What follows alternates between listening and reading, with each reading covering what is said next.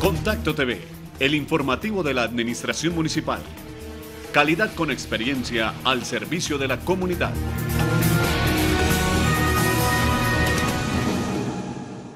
Ante la comunidad del barrio La Inmaculada fue presentado el proyecto de ampliación de la planta de tratamiento de agua potable del municipio de Cibaté. Este ambicioso proyecto se ejecutará durante ocho meses y contará con recursos del Departamento de Cundinamarca y el municipio.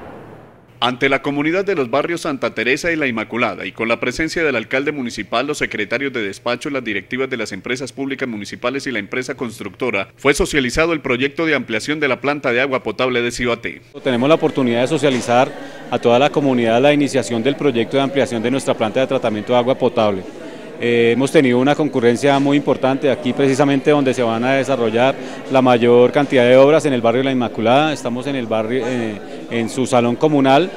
y presentándole precisamente a toda la comunidad, a todos los actores sociales del municipio, a todos los posibles afectados por, por los impactos que vaya a tener con la ejecución del proyecto y con el fin de que conozcan cómo va a ser el proceso de ejecución, quiénes van a ser los responsables de la ejecución del proyecto, el tiempo estimado para el mismo y cuál es el alcance de este proyecto. Y es la ampliación de la planta de tratamiento de agua potable en nuestro municipio.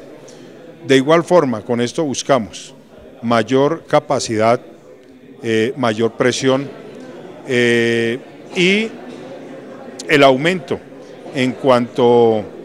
a la capacidad de depósito aquí mismo en la planta. Estamos duplicando prácticamente eh, esos tanques de almacenamiento y desde luego también como cualquier eh, elemento eh, ha cumplido su vida útil y hoy de acuerdo a un ejercicio que se hizo con las empresas públicas de Cundinamarca y con una bolsa de recursos que se vienen mm, ahorrando de tiempo atrás prácticamente, eh, buscamos en que una parte la colocara el departamento en cabeza de la empresa de servicios públicos del departamento y otra parte la colocáramos los cibateños. El gerente de las empresas públicas municipales de Cibaté, Ernesto Forero, habló de este ambicioso proyecto que beneficiará a toda la población, sus principales características y bondades. Bueno, nosotros vamos a hacer prácticamente una ampliación de la planta que va a duplicar su capacidad de producción de agua potable. Estamos hablando de que actualmente la planta tiene una capacidad de 35 litros por segundo para producción y vamos a hacer eh, una ampliación que permita eh, producir 63 litros por segundo. Se va a construir eh, unas infraestructuras adicionales como un nuevo sistema de floculación, eh, instalar unas colmenas de sedimentación de alta tasa, la construcción de cuatro nuevos filtros para el sistema de tratamiento, la construcción de un tanque de cerca de 800 metros cúbicos para almacenamiento y la extensión de una nueva red de, de distribución de agua potable hacia el sector industrial del municipio de Cibaté. De otra parte, también habló del impacto del proyecto para con la población cibateña. Bueno, consideramos que los impactos en primer lugar van a ser más positivos en el sentido de que vamos a garantizar el abastecimiento a, mm, toda la población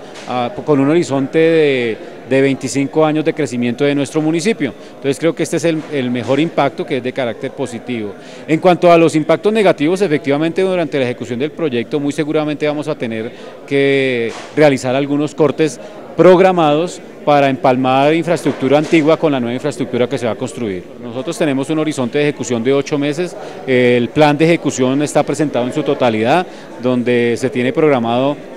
cuál va a ser la infraestructura por la cual se va a iniciar y cuál va a ser eh, la última actividad que se va a desarrollar. Eso está perfectamente eh, programado y esperamos que se cumpla en un 100%, esa es toda nuestra intención, que no nos ocurran o nos surjan eventualidades que puedan impactar el proyecto y cumplir a cabalidad con este cronograma.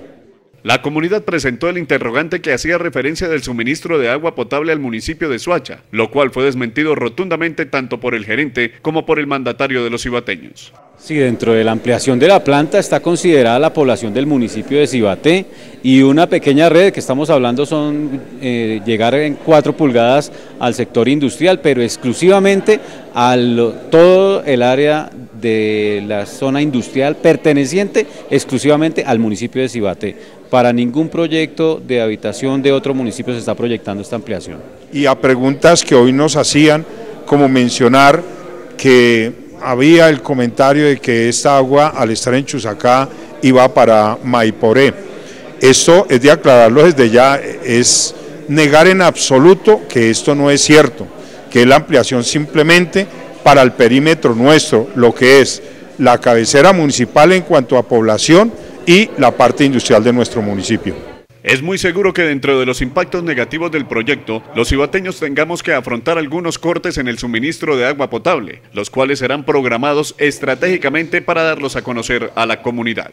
Bueno, en cuanto a la parte de los posibles cortes de agua que se van a presentar, eso no hay que decirle mentiras a la comunidad, pero hemos hablado con el contratista